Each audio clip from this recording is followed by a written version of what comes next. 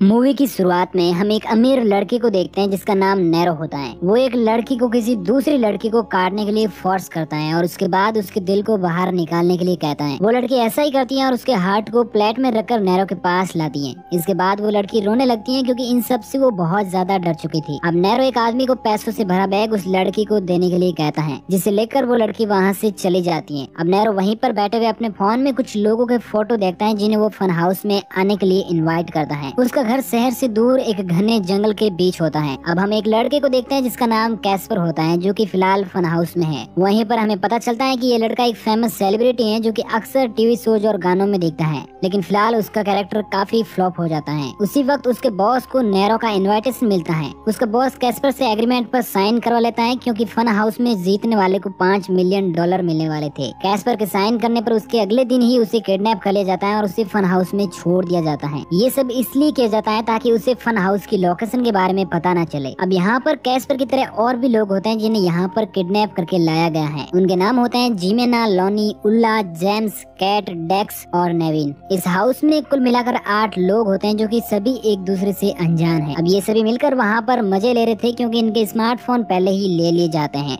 धीरे धीरे सबकी जान पहचान होती है और अब शो शुरू होता है जिसे पब्लिकली लाइव भी किया जा रहा था। अब शो में काफ़ी लोग इंटरेस्टेड थे। स्टार्ट में सभी लोग अपना इंट्रो देते हैं और उसके बाद शो का होस्ट एक पांडा के रूप में आता है और उन्हें बताता है कि पूरे फन हाउस में कैमरे लगे हुए हैं। यहाँ तक कि बाथरूम में भी लाइव कैमरा है। और तुम लोग यहाँ पर टिके रहने के लिए हर तरीके से फ्री हो। जो चाहो वो करो, लेकिन जिसका काम इंटरेस्टिंग होगा, उससे ज़्यादा पब्लिक वोट करेगी। और वो ही इस लाइव शो का विनर होगा। इस हाउस में कुछ नहरों के आदमी भी होते हैं जो उन सब पर नज़र रख रहे हैं। अब वो सभी वहाँ पर खूब मज़े करते हैं और इन्हीं सब में उनके तीन दिन फन हाउस में गुजर जाते हैं। और अब फिर से नैरो पांडा के रूप में आकर उन सभी को कहता है की आज पब्लिक वोट करने वाली है। और जिस किसी को सबसे कम वोट मिलेंगे, उसे आज ही इस शो से बाहर कर दिया जाएगा। अब हम स्क्रीन पर वोटिंग ग्राफ को देखते हैं जिसमें उल्ला टॉपर होती हैं, क्योंकि वो काफ़ी सुंदर होती हैं और शो में उसने कुछ अजीब हरकतें भी की थी, जिसकी वजह से पब्लिक उसकी दीवानी हो जाती है। ग्राफ में सबसे आखिर में होता है लोनी और नेविन, जिन्हें सबसे कम वोट मिले थे। रूल के मुताबिक नेविन को शो छोड़ना होता है और यहीं से शुरू होता है असली फन। अब नेविन को एक रूम में ले जाकर लटका दिया जाता है और लोनी की आँखों पर पट्टी बांधकर उसे एक बैट दिया जाता है, जिस पर लोहे की किले लगी हुई थी। और अब उसे बताया जाता है कि उसे सामने लगे पांडा पर बैट मारना है, लेकिन जब वो बैट चलाती है तो उस पांडा की जगह नेविन को लटका दिया जाता है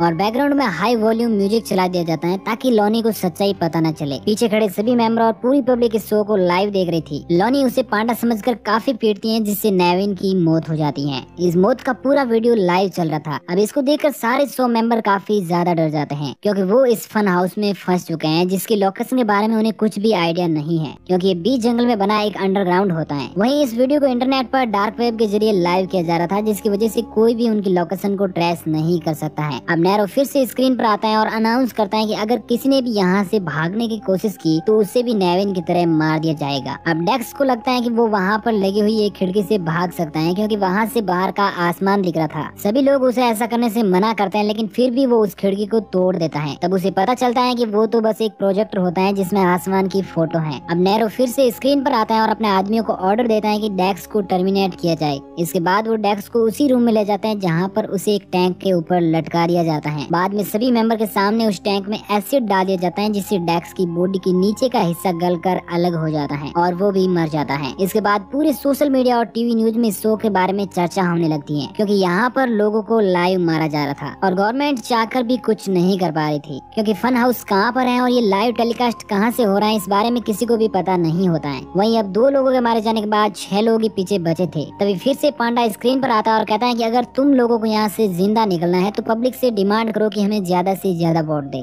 इसके सुनने के बाद सभी लोग घबरा जाते हैं, तभी जिमेना और उल्ला के बीच में झगड़ा हो जाता है, जिसमें जिमेना कहती है कि तुम अपनी बॉडी दिखाकर ज़्यादा वोट गेन कर रही हो। इसलिए तुम एक वैश्या हो। अगले दिन न्यूज़ में हम एक लड़की को देखते हैं जो की कैस्पर की एक्स वाइफ होती है, जो काफ़ी ज़्यादा फ़ेमस भी होती है। इसलिए वो पब्लिक से अपील करती है की वो कैस्पर को ज़्यादा से ज़्यादा वोट दे। वही दूसरी और फन हाउस में सभी डिसाइड करते हैं की जितनी लाइफ बची है, उसे हँसी खुशी के साथ गुजारा जाए, क्योंकि बहुत जल्द वो सभी मरने वाले हैं। हैं अब फिर से नैरो स्क्रीन पर आता है और नेक्स्ट वोटिंग का ग्राफ दिखाता है, जिसमें सबसे कम वोट जिमेना और उल्ला को मिलते हैं। और इसका कारण उन दोनों का झगड़ा होता है। अब उन दोनों को उसी रूम में ले जाया जाता है, जहाँ पर उन्हें एक एक कुलाड़ी दे दी जाती है। और रूम की सारी लाइट्स ऑफ़ करके नाइट विजन में लाइव किया जाता है, जहाँ पर वो दोनों एक दूसरे को मारने की कोशिश करती है, जिसमें उल्ला अपनी कुलाड़ी को जिमेना के सर पे मार देती है, जिससे जिमेना मर जाती है। और उल्ला अपने आप को सर्वाइव कर लेती है। अब तक फन हाउस में तीन मेंबर मारे जा चुके थे और सभी लोग अपनी जान बचाने के लिए वोट मांग रहे थे, लेकिन ज़्यादा से ज़्यादा वोट के चक्कर में उल्ला कैमरा के सामने ही अपने कपड़े उतार देती है, ताकि ज़्यादा से ज़्यादा ऑडियंस उसकी ओर अट्रैक्ट हो सके। दूसरी ओर जेम्स, जो की अब उल्ला का बॉयफ्रेंड होता है, वो शराब के नशे में ज़मीन पर गिर जाता है,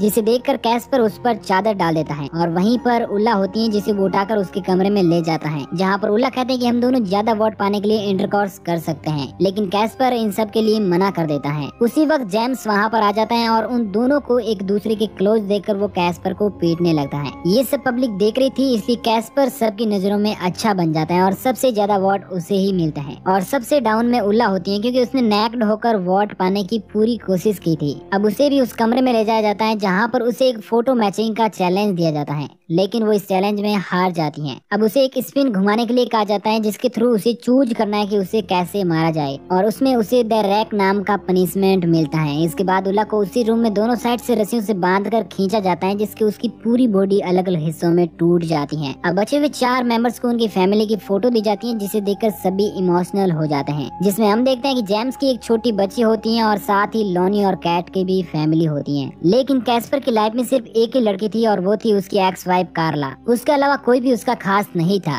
क्योंकि कैस्पर के पेरेंट्स बहुत सालों पहले एक कार एक्सीडेंट में मारे जा चुके थे, जब वो सिर्फ़ तीन साल का था। कैस्पर की स्टोरी देखकर पब्लिक इमोशनल हो जाती है और एक बार फिर उसे ही सबसे ज़्यादा वोट मिलते हैं। अब इस बार मरने की बारी जेम्स की होती है जिसे सबसे कम वार्ड मिले थे। जेम्स एक बॉक्सर होता है, इसलिए उसके सामने चार बॉक्सर लाए जाते हैं और उनमें से एक बॉक्सर पब्लिक की वोटिंग पे चुना जाएगा। अब एक बॉक्सर के साथ जेम्स की फाइट होती है, लेकिन किसी तरह वो उसे मार देता है। लेकिन नैरो जेम्स के साथ धोखा करता है और वो बाकी तीन फाइटर्स को भी भेज देता है, जो उसे बुरी तरह से मार देते हैं। अब फन हाउस में तीन लोग बचते हैं जिन्हें वार्ड की बहुत ज़्यादा ज़रूरत है। इसलिए वो भी उल्ला की तरह जिस्म का सहारा लेने लगते हैं। लॉनी और कैस्पर इंटरकोर्स करते हैं और कैट अकेले ही मास्टरबेट करती है। और ये सब पब्लिक लाइव देख रही थी। अगले दिन वोटिंग ग्राफ में लॉनी और कैस्पर जीत जाते हैं और कैट हार जाती है। कैट एक चेस प्लेयर थी, इसलिए नैरो का एक आदमी उसके साथ चेस खेलता है, जिसमें वो हार जाती है। और उसे भी उल्ला की तरह स्पिन कराया जाता है, जिसमें उसे पास्ट सेंटेंस मिलता है। और उसके अकॉर्डिंग जिसे भी उल्ला के अलावा कम वोट मिले हैं, उसे मरने के लिए चूज़ किया जाएगा। और लकीली कैट यहाँ पर बच जाती है। और मरने की बारी होती है लॉनी की। इसलिए उसे उसी रूम में ले जाया जाता है, जहाँ पर उसे मारने के लिए कैस्पर होता है। उन दोनों को एक एक गन दे दी जाती है और जो भी सबसे पहले ट्रिगर दबाएगा, वो बच जाएगा। मगर वो दोनों इन सबसे तंग होकर खुद ही सुसाइड कर लेते हैं। अब पीछे सिर्फ़ कैट बचती है जो स्कैम की विनर है और उसे पाँच मिलियन डॉलर देकर वहाँ से निकाल दिया जाता है। कुछ दिन तक लगातार पुलिस कैट से पूछताछ करती है, मगर उन्हें कुछ भी हाथ नहीं लगता है। क्योंकि कैट को भी फन हाउस के बारे में कुछ भी पता नहीं था। इसलिए पुलिस उसे फ्री कर देती है, लेकिन हमें पता है कि फन हाउस नैरो का होता है। लेकिन पब्लिक के सामने नैरो का स्टेटस एकदम क्लीन होता है। कुछ टीवी इंटरव्यूज़ देने के बाद नैरो अपने घर जाता है, जहाँ पर कैट होती है। और हमें पता चलता है कि कैट नेरो की गर्लफ्रेंड है,